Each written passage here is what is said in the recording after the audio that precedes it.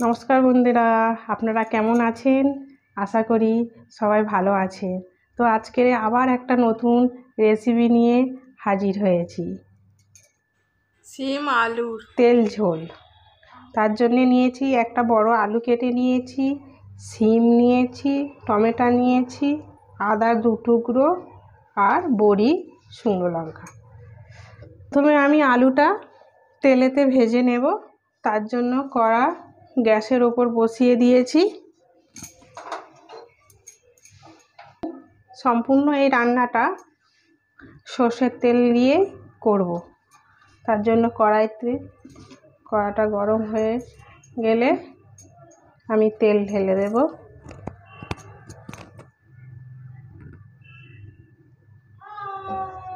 কড়াইতে আমি তেল দিয়ে দিলাম।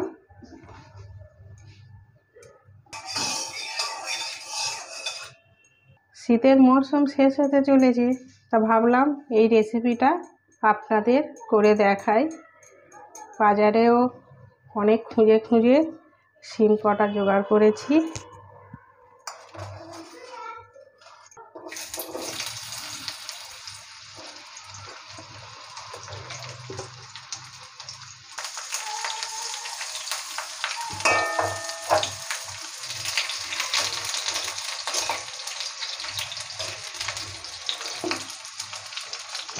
হলুদ দিয়ে আলুটা ভালো করে ফ্রাই করে নেব।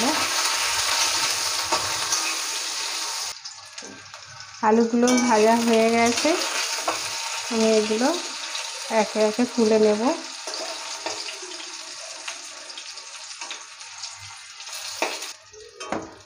এগুলো ভেজে নেব।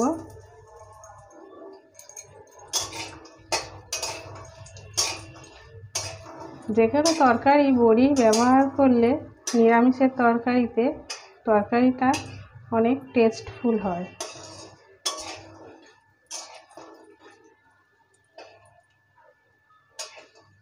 বড়িগুলো লাল লাল করে ভাজা হয়ে গেছে এগুলো আমি তুলে নেব।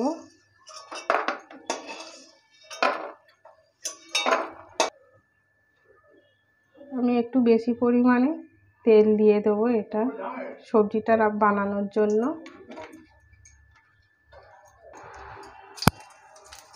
জন্য কড়াইতে আমি শুকনো লঙ্কা, তেজপাতা আর অল্প ফোড়ন দিয়ে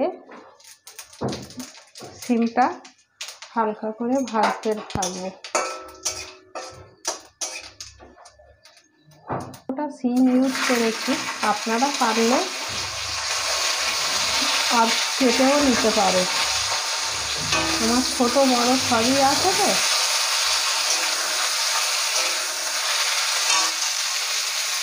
করে লবণ দিয়ে ফুলটা ভাজতে থাকি। ততক্ষণে আমি একটা পেস্ট বানিয়ে নেব। দুটো টমেটো আর দু টুকরো আদা। আর একটু ভেজে নেব।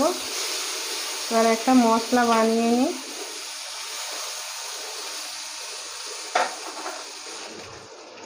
ধনে গুঁড়ো আর চিলি পাউডার।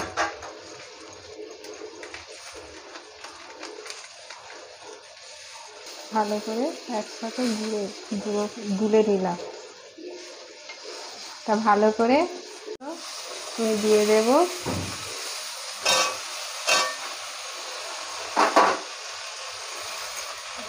টমেটোর পেস্টটা দিয়ে দিলাম। ভালো করে কষাতে হবে যাতে না টমেটোর কাঁচা গন্ধটা থাকে।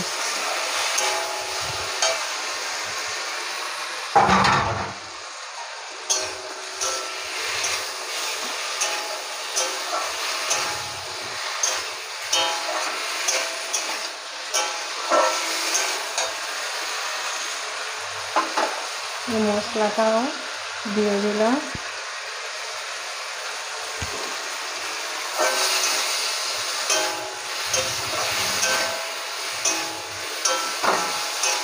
অল্প করে জল দিয়ে একটু কষতে থাকব।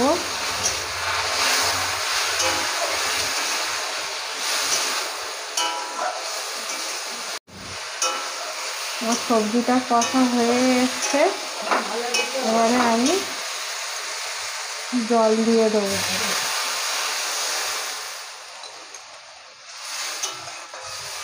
বড়ি, বড়িগুলো দিয়ে দিব।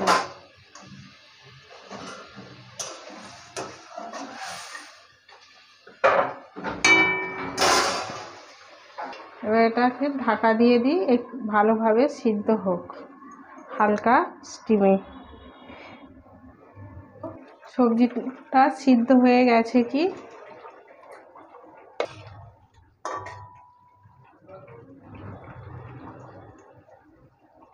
আর একটু বাকি আছে, আর একটু ঢাকা দিয়ে রাখব। আছে তরকারিটা, এবার খুলে দেখব।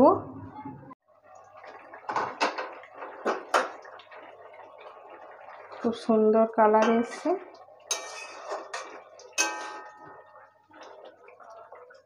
সব সবজিও সিদ্ধ হয়ে গেছে। এবার এটাকে আমি নামিয়ে নেব। গ্যাস অফ করে দিল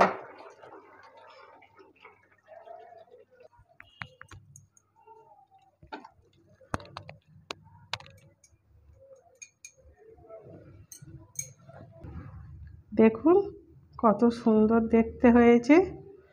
আমার এই রেসিপিটা ভালো লাগলে আপনারা প্লিজ প্লিজ সাবস্ক্রাইব করবেন আর একটা লাইক করে দেবেন। নিরামিষের দিনকে এই রেসিপিটা বানিয়ে খেয়ে দেখবেন। আশা করি সকলের ভালো লাগবে।